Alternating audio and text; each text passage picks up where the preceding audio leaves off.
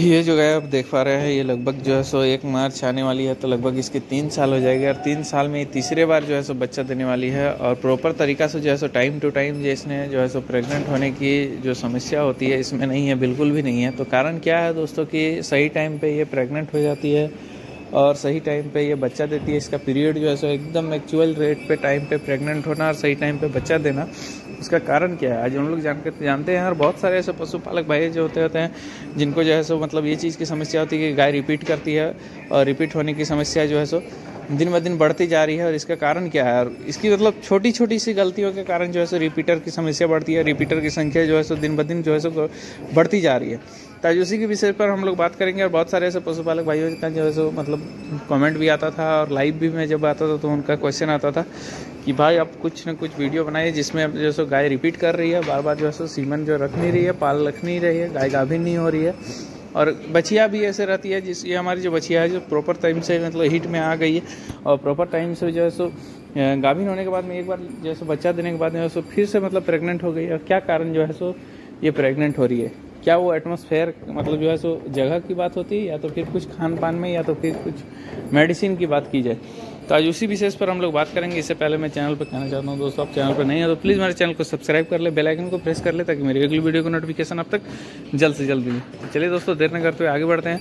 और देखते हैं यार जानकारी प्राप्त करते हैं कि दोस्तों, गायों की गाभिन होने की समस्या में आज हम लोग क्या चीज़ की ऐसा टू चीज़ लाएँगे जिसमें नाइन्टी पूरा हंड्रेड तो नहीं बोल सकते हैं।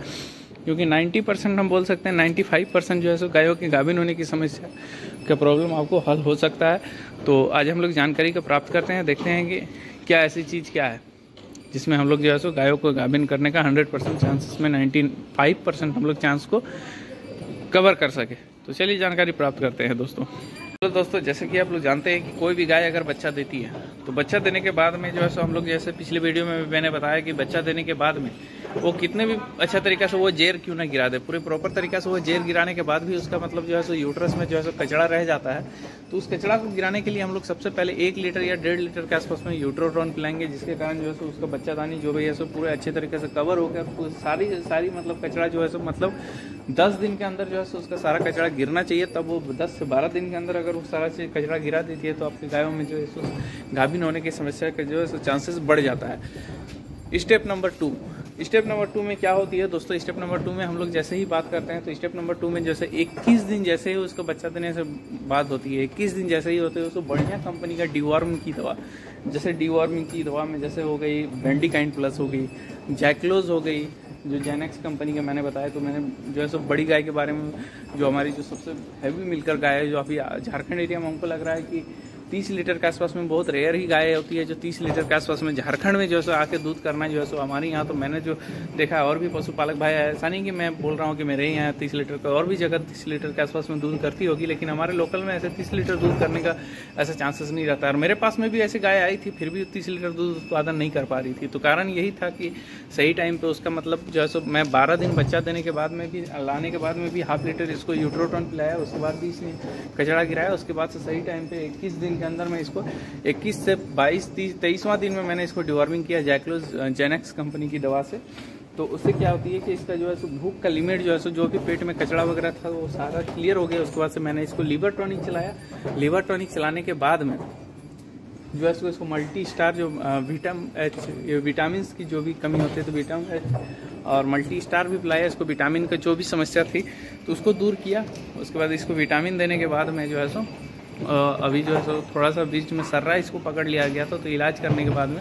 तो दूसरी जैसे कि आप लोगों ने जाना कि सही टाइम पे डिवॉर्मिंग करना। डिवॉर्मिंग करने के बाद में तीसरा पोजीशन क्या होती है दोस्तों? तीसरे टाइम पे हम लोग जो है सो गाय,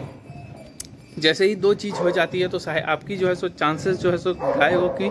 जो है सो सबसे पहली जो चीज़ होती है हीट में आने की। हीट के आने की समस्या खत्म हो जाएगी हीट में ज़रूर गाय आएगी और प्रॉपर तरीका से जो है सो उसका पौष्टिक आहार खाना देना। खाना अगर प्रॉपर तरीका से रहेगी लिमिट के अनुसार खाना रहेगी फ़ीड वगैरह रहेगा तो खाना रहेगी। उसके बावजूद भी अगर हमारे गाय जो है सो हीट में नहीं आ रही है और रिपीट की समस्या आती है तो रिपीट पे हम लोग बात करते हैं रिपीट की समस्या में क्या बड़ी बात है। तो जैसे फ़र्स्ट हीट आती है, मान लीजिए एक सीमन हम लोग डलवाएँ, उसके बाद से कंसीव नहीं कर रही है तो सेकेंड हिट जैसे ही वो आ रही है सेकेंड लिस्ट का डेट आप लोग तैयार रखें और 21 दिन तक कंटिन्यूसली घर में जैसे घी हो गई, घर की घी, और लगभग जो है सो एक किलो के आसपास में आप गाल का हल्दी ले लें और उसको पिसवा दें पाउडर कर लें मिक्सर कर लें और उसका लड्डू बना दें। उसका लड्डू बनाने के बाद में प्रॉपर तरीका से 21 दिन तक उस लड्डू को खिलाएँ। प्रतिदिन एक लड्डू जो है सो छोटा छोटा लड्डू एक किलो मतलब जैसे आधा किलो के आसपास में घी हो गई और एक किलो जो है सो हल्दी। उसको जो है सो मिक्स करने के बाद में प्रॉपर तरीका से जो है सो उसका बढ़िया तरीके से लड्डू बना लें और हर 21 दिन तक दें। वो कंटिन्यूसली 110 परसेंट जो है सो गाभिन रखने की और जो भी पेट की जो है मतलब जो भी चीज़ की इन्फेक्शन वगैरह जो है सो मतलब बच्चेदानी में होती है तो वो इन्फेक्शन जो है सो ख़त्म हो जाएगी और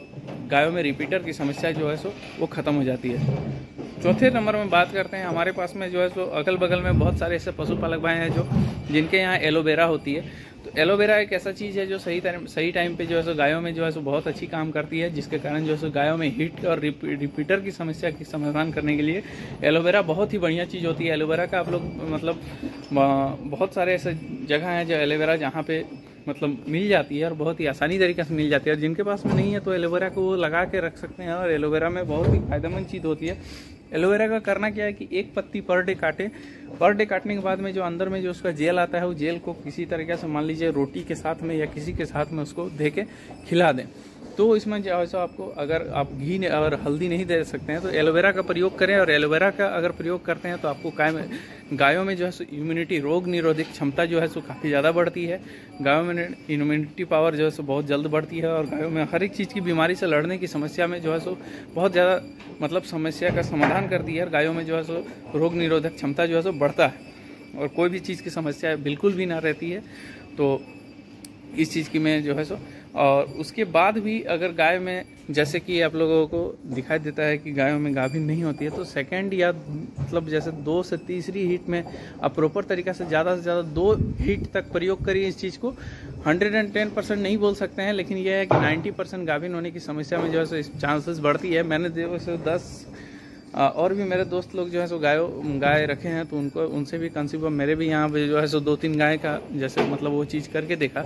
तो लगभग जो है सो दस गाय में से जो है सो सात गाय ने प्रेग्नेंट पकड़ ली, जो रिपीटर की समस्या था। तीन गाय अभी तक नहीं पकड़ा है। वो तीन गाय को हमें उम्मीद लगती है कि इस बार जो हीट में आएगी और इस बार जो सीमेंट लगेगा तो वो भी हीट हो सकती है। तो मैं हंड्रेड एंड हंड्रेड परसेंट नहीं बोल सकता हूँ कि इस चीज़ में वो वर्क करेगी, लेकिन आप इस चीज़ का प्रयोग करेंगे तो वो हो सकता है कि आप लोगों ने तो बहुत प्रयास किया होगा, कोई भी गाय को मान लीजिए कोई भी बछिया को तो दोबारा सेल नहीं करना चाहते तो इस चीज़ की समस्या अगर आप लोग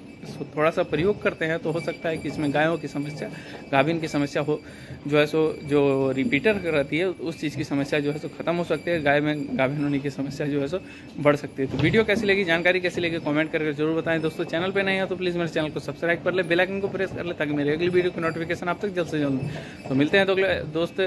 अगले नेक्स्ट वीडियो पे। जय हिंद, वंदे मातरम।